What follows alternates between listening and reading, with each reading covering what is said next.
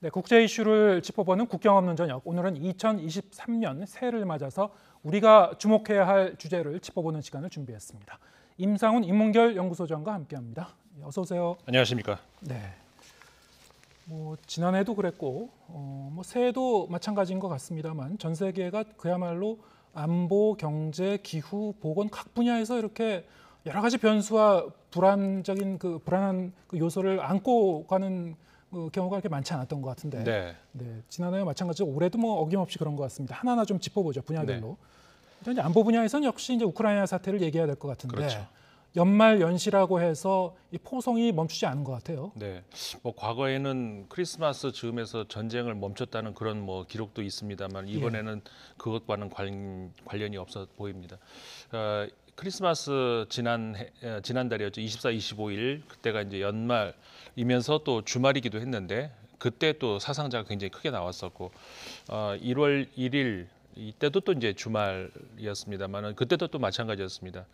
어, 공습이 어, 계속 이어졌는데 무인, 그러니까 소위 우리가 드론이라고 부르는 어, 그 무인기를 통해 가지고 이제 공습이 굉장히 많이 있었고 그러다 보니까 이제 무인기 격추가 지난 그러니까 어제 여- 그러니까 1월 1일 날 45대를 격추시켰다 이렇게 이제 우크라이나에서 밝히기도 했고요. 어, 그만큼 이제 민간인 피해도 이제 많이 늘어났고 민간인 사망자도 계속 늘어납니다. 근데 특- 특이한 것은 현재 그 원래 우크라이나 땅이었습니다만 러시아가 점령하고 있는 어, 루안스크, 도네츠크 그러니까는 돈바스 지역이라고 흔히 부르는 그 지역을 향한 그 공습도 있었단 말이에요. 무인기 공습. 그거는 그러니까 러시아가 했을 가능성은 낮고 우크라이나에서도 역시 그쪽을 향해서 이제 공격을 하는 것 같고 그쪽에서도 역시 이제 사- 저 민간인 피해자도 이제 계속 나오고 있습니다. 이렇게 되면서 그 대체적으로 보면은 러시아는 어 이제 전후반 가리지 않고 이제 그 공습 미사일 같은 경우에 이제 공습을 후방으로도 하고 있고 어 전장을 중심으로 해서는 주로 그 남쪽 지역 헤르손 중심으로 해서 그쪽을 이제 주로 이제 공격을 좀 하는 것 같이 보이고 네. 어, 저 우크라이나의 경우는 어, 우크라이나가 이제 그 지난해 가을이었죠. 이 북동부 지역을 상당 부분 다시 회복을 어, 하지 않았습니까? 그 수복한 중심으로 해가지고 어, 현재의 그 돈바스 지역의 경계선 어, 거기서 조금만 더 밀고 나가면 어, 사실상 어, 전쟁이 시작된 2월 24일 지난해 2월 24일 정도의 수준으로 갈 수 있다라고 판단을 한 것 같아요. 어, 그래서 이제 그 우크라이나 입장에서는 특히 그, 특히 그 동북부 쪽을 많이 좀 공격을 하는 것 같고 현재로서는 이제 그런 상황으로 보입니다. 네. 어, 우크라이나 전쟁을 보면은 현대전에서 이제 무인기 드론의 역할이 얼마나 중요한지를 좀 새삼 좀 느낄 수 있는 그런 부분도 있는 것 같긴 합니다. 네, 드론과 이제 미사일을 활용해서 계속 이제 러시아도 우크라이나의 어떤 뭐 사회 기반 시설뿐만이 아니고 뭐 학교나 뭐 호텔이나 이런 네, 민간 병원도 그, 예, 마찬가지고. 거주 지역을 이제 공습하고 있는 상황이고요. 네. 자, 이게 이런 상황이 언제까지 갈 것인가? 지금 이렇게 되면은 이제 곧 이제 1년째가 이제 다가오는데요. 그렇죠. 우크라이나 사태. 네. 어, 아직도 뭐 이 종전까지는 멀었다 이런 전망도 나오고 있는 것 같습니다. 그렇습니다. 이제 종전 혹은 적어도 휴전이라도 뭐가 이야기가 좀 진전이 되려면 양쪽의 이야기가 좀 접점이 있다던가 뭐 예. 가까워진다던가 이래야 되지 않겠습니까? 근데 전혀 지금으로서는 어, 러시아 물론 푸틴 대통령이 어, 그 협상의 여지가 있다. 난 협상할 의, 저 준비가 돼 있다라고는 얘기는 하지만 협상에 필요한 조건 을 얘기를 한다 그러면은 전혀 지금 다른 이야기를 하고 있거든요.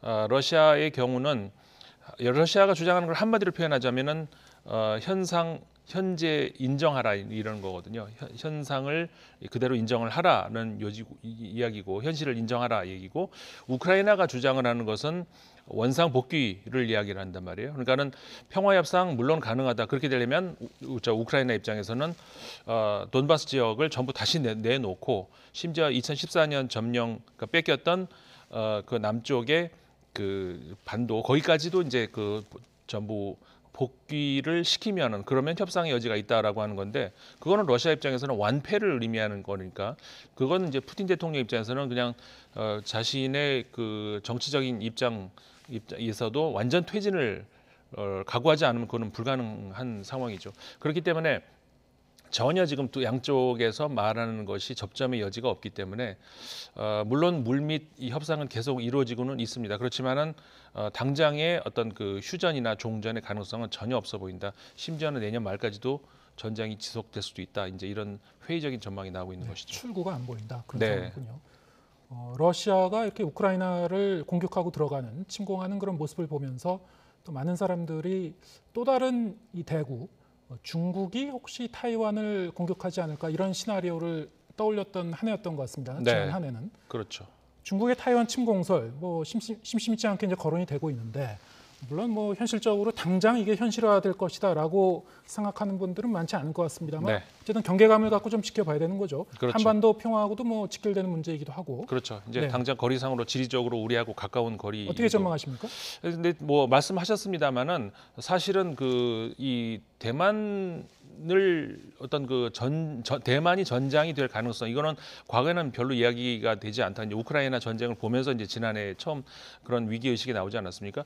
그런데 이제 지난해에도 이제 여러 차례 우리가 이 자리에서도 말씀을 나눴습니다마는 그 우크라, 우크라이나의 어떤 그 어, 전략적인 뭐 미국 입장에서는 전략적 가치와 타이완의 전략적 가치는 사실상 많이 다르거든요. 네.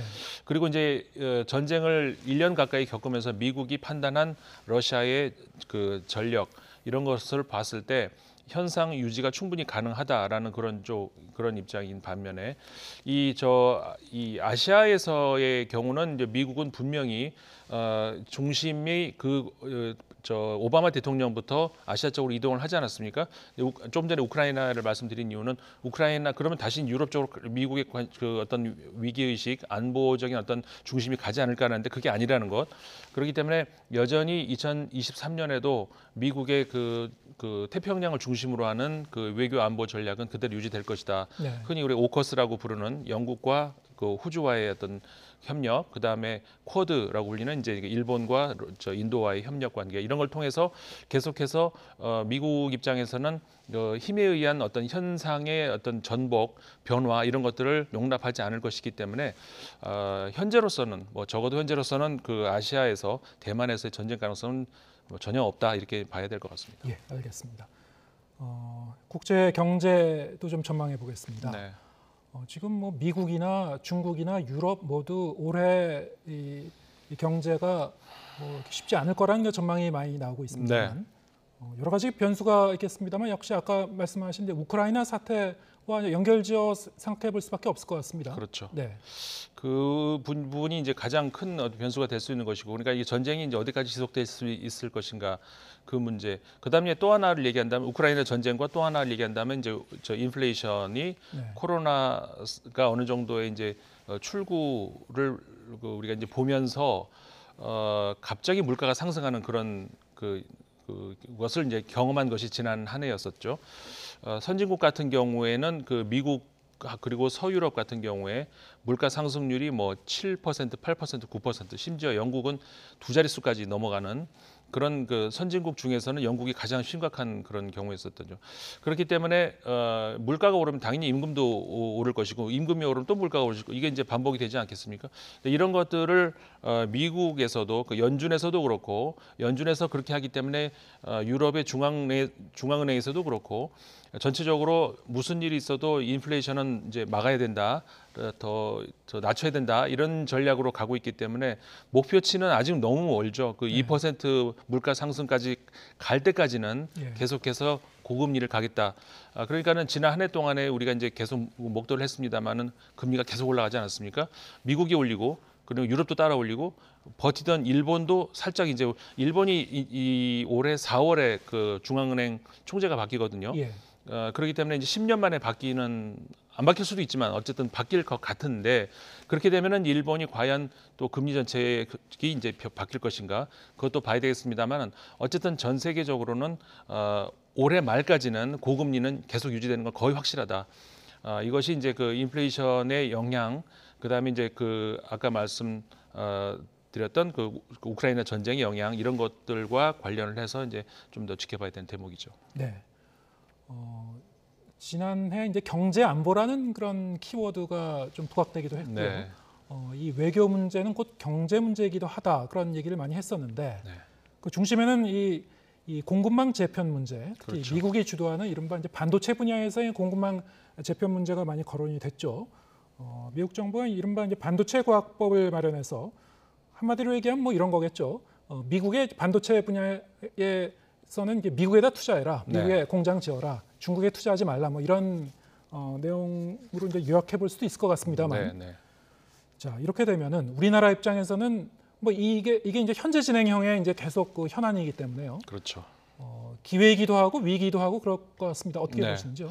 근데 이제 미, 그 미국발 어떤 그런 그 변화의 그 변수라고 할 수가 있겠죠. 그런 것들도 물론 있지만 그것뿐만 아니라 중국 미국이 그러지 않아서도 중국도 이제 변했을 것 같- 같아요. 네. 무슨 얘기냐면은 어, 중국이 어, 그 14억 인구를 가지고 있는 그 대국 아니겠습니까? 그러니까는 이제 모든 것이 어, 그렇게 생각하는 거 자신들이 마음이 마음만 먹으면은 그 내수로도 얼마든지 경제를 돌릴 수 있다라고 생각을 하는 것 같아요. 예.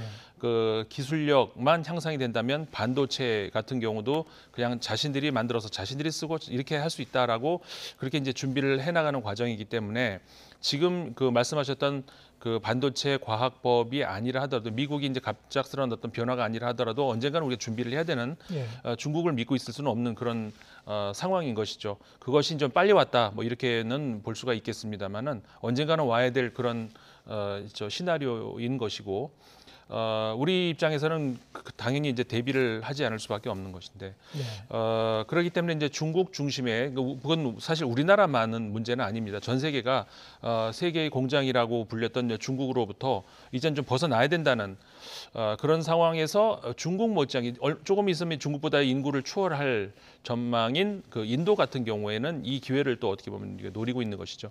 사실 지금까지 이 물론 아직까지는 중국만큼은 못 따라갑니다만은 그 외국인들의 직접 투자 흔히 그 FDI라고 하지 않습니까? 네. 그것이 그 인도 같은 경우도 좀 굉장히 상승하고 있거든요. 예. 어, 매력적인 어떤 그 어, 투자처다 이렇게 그 전 세계에 눈이 주시를 하고 있는데 어, 기회를 놓치지 않고 인도 입장에서도 어, 외국의 투자를 유치하려고 하는 어, 그런 것들을 지금 그 정부가 굉장히 많이 보여주고 있거든요.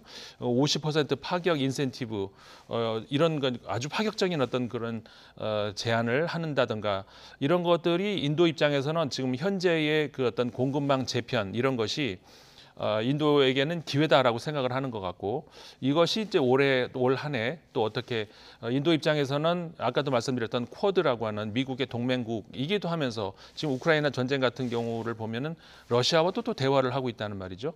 어, 인도의 어떤, 어떤 전략 안보와 경제와 아까 말씀하셨던 경제 안보 전략 이런 것들이 어떻게 나올지 이런 것도 한번 우리가 주시해 봐야 되는 그런 대목이죠. 네. 어, 중국에 대한 의존도를 좀 줄이고 투자를 좀 더 다변화하는 그런 측면에서도 이제 인도를 좀 주목해 볼 필요가 우리 입장에서는. 예, 전략적으로 입장에서는. 네 그렇습니다. 네, 알겠습니다.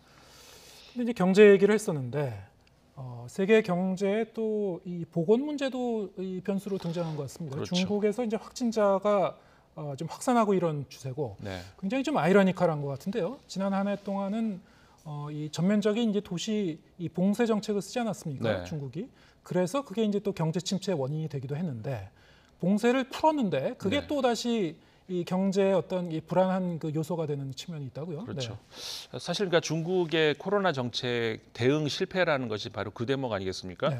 그러니까는 어, 너무 경직돼 있다. 그리고 이제 그 중앙 소수의 어떤 결정이 이런 중요한 결정에 있어서 어, 절대적으로 작용을 하다 보니까 이, 일어나는 현상으로 보이는데 우리나라 같은 경우도 뭐 전 세계에서 어, 많이 인정을 받았던 것이 그거 아니겠습니까? 예. 필요할 때는 그 엄격한 어, 봉쇄, 통제, 그다음에 핀셋 격리 등등 하고 그 어느 정도 또 다시 새로운 전략이 필요할 때는 with 코로나로 더 절, 저 전략 수정을 해서 또 이렇게 이제 그 적응을 하고 있고 이런 어떤 그 그 유연한 정책 이런 것들을 한 데 있어서 중국이 그걸 보여주질 못했던 것이죠. 어, 제로 코로나를 고집을 했는데 사실은 그 제로 코로나가 효과적인 어떤 그 대응으로 어, 그 자리매김을 하질 못했고 왜냐하면은 중국은 그 동안에 그 모든 그 저 자료라든가 이런 것들을 사실 공개를 잘 안 했죠. 그리고 공개된 것들도 어, 가짜 수치가 너무 많았고 어, 이번에도 그래서 이제 드러난 것이 이 중국에서 이제 어, 개방을 하면서 외부로 사람들이 나가면서 외부 공항 특히 이제 이탈리아 이탈리아의 그 밀라노 공항 같은 경우가 그런 거 아니겠습니까? 군- 중국에서 입국하는 사람들이 50%가 보니까 감염이 됐더라는 것이 새롭게 이제 나오는 것이고 지금 프랑스에서는 보건부 장관이 무슨 얘기를 하냐면요. 프랑스도 마찬가지 PCR 검사를 의무화 시켰습니다. 어, 중국에서 들어오는 그 여행객들을 사람을 맡겠다는 것이 아니다. 우리는 과학적 검사가 필요하다라고 얘기하거든요. 그게 무슨 의미냐면은 도대체 중국에서 무슨 일이 벌어지고 있는 걸 모르겠다는 얘기예요. 과학적으로 우리가 좀 알아봐야 되겠다는 것이죠. 네. 그러니까 오미크론 변종이라는 것은 알겠는데 도대체 뭐 무슨 일이 벌어지고 있는지 를 모르겠다는 거. 이게 전 세계 다른 나라들로 공유를 하- 하고 있지 않고 이런 어떤 결과 아니겠습니까? 어떻게 보면은 그 중국의 큰 오류 그리고 거기에서 빚어지는 어떤 그 어, 이제 실수 그리고 거기서 빚어지는 이제 상황이 지금 지금까지 온 이런 것이라고 할 수가 있는 것이죠. 예, 알겠습니다.